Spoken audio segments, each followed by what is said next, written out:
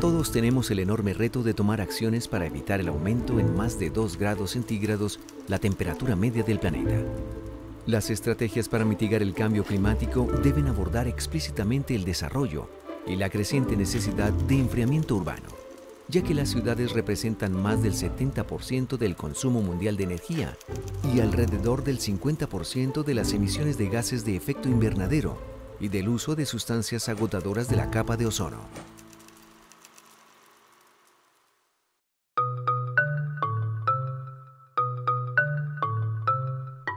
En Colombia, el 75% de la población vive en centros urbanos y más del 70% de estas ciudades están en climas cálidos, con altas demandas de acondicionamiento de aire. Es por esto que la eficiencia energética en el uso de alternativas de bajo impacto ambiental en los sistemas de enfriamiento urbano son una importante contribución para lograr esta meta. Colombia es parte del protocolo de Montreal eh, cuyo objetivo es eliminar el consumo de las sustancias agotadoras de la capa de ozono. Estas sustancias son usadas principalmente en la refrigeración en aire acondicionado. En las ciudades, las edificaciones son unas altas consumidoras de sustancias agotadoras de ozono en sus sistemas de enfriamiento. Actualmente el mercado ofrece alternativas que son de muy alto potencial de calentamiento global, a pesar de que ya no dañen la capa de ozono. En Colombia hemos venido formulando diferentes estrategias para combatir el cambio climático en las ciudades. La política de cambio climático incluye un eje muy específico para los temas urbanos, en donde estas ciudades se puedan desarrollar de una manera resiliente al clima y baja en carbono. Lo más importante en estos temas es la reducción del uso de los energéticos que se usan en las ciudades para los diferentes fines. El objetivo desde la Unidad Técnica de Ozono es promover acciones que ayuden a lograr la reducción del consumo de estas sustancias, tanto en sistemas que puedan estar centralizados como en sistemas que estén usados de manera unitaria por cada consumidor.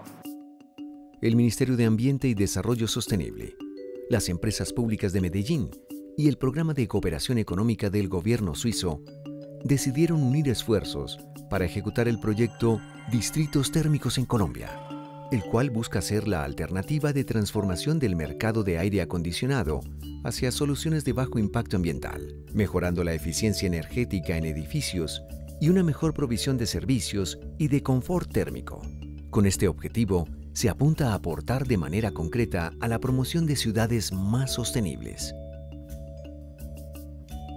el desarrollo urbano sostenible y la gestión responsable de los recursos naturales es un eje fundamental de la cooperación económica de Suiza en Colombia. A través de la construcción de un primer distrito térmico en la Alpujarra en Medellín, el proyecto busca crear un referente para el tema y demostrar que esa tecnología se puede aplicar en Colombia. Los distritos térmicos son redes urbanas de servicios energéticos que proveen calor y o frío a edificaciones individuales dentro de una localidad o distrito de desarrollo.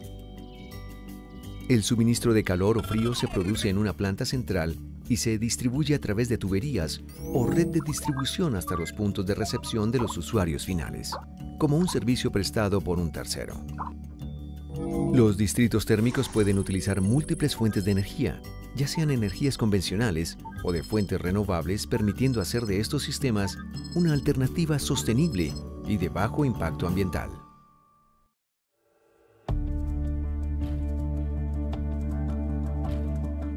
El distrito térmico La Alpujarra, en operación, permite entregar agua helada a cinco edificios públicos ubicados en el centro administrativo de Medellín. En el 2004, con un remanente de agua que tenía del edificio de PM, Empresas Públicas pensó en la posibilidad de entregar agua helada a sus clientes. En el 2013, con otras entidades como el Ministerio y el Gobierno suizo, a través de SECO se implementó un proyecto de distritos térmicos en Colombia. De ahí nació el Distrito Térmico La Alpujarra como proyecto piloto. Tema ambiental, la planta tiene un impacto muy grande, porque está disminuyendo el 100% de las sustancias agotadoras de ozono, conocidas como sustancias SAO, y el 30% de los gases de efecto invernadero. Adicionalmente, reduce entre un 20 y un 25% la emisión de CO2 al ambiente. La implementación de un distrito térmico en su edificio aporta múltiples beneficios ambientales, operacionales, financieros y de confort, además de producir un ahorro de energía estimado entre el 20 y 30% con respecto a los sistemas de aire acondicionado tradicionales. Sabemos nosotros que en lo ambiental tenemos mucho por ganar porque de antemano esto nos conlleva a hacer unos ajustes internos en todo lo que tiene que ver con la ductería, con las unidades manejadoras del aire acondicionado e incluso hasta en la redistribución locativa. Eh, desde el punto de vista de la operación económica, aspiramos y de acuerdo a los cálculos de que tengamos unos beneficios mm, económicos a través del tiempo, donde esto nos reemplace no solo tanta maniobrabilidad operativa, sino también logística en cuanto al sistema del aire acondicionado.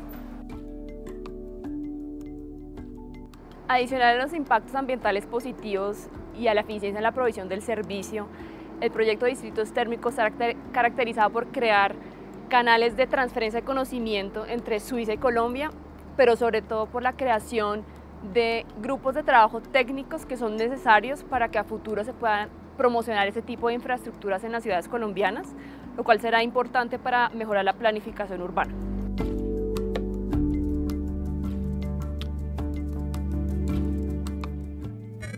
Además del piloto de Medellín, el proyecto Distritos Térmicos en Colombia ha trabajado en la promoción de procesos de planeación estratégica de redes urbanas de enfriamiento en cinco ciudades, Bogotá, Cali, Medellín, Cartagena y Bucaramanga.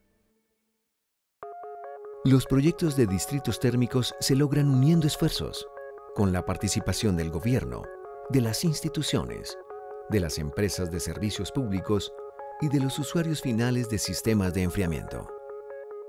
Los distritos térmicos se traducen en beneficios a la población a través de una reducción de gases de efecto invernadero, una mejora en la calidad del aire y también nos trae unos beneficios económicos. El reto para este distrito y cualquier distrito es que el cliente perciba el ahorro en el servicio de energía térmica y además de eso que evidencie que es una alternativa de solución energética que ayuda y mejora el medio ambiente.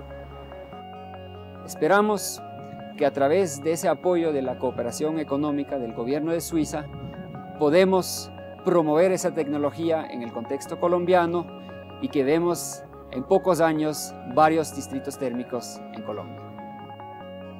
En nuestras manos está la enorme oportunidad de reducir el impacto sobre el medio ambiente y aportar para construir sistemas sostenibles, con una nueva visión de ciudades comprometidas, eficientes e innovadoras en el uso de la energía.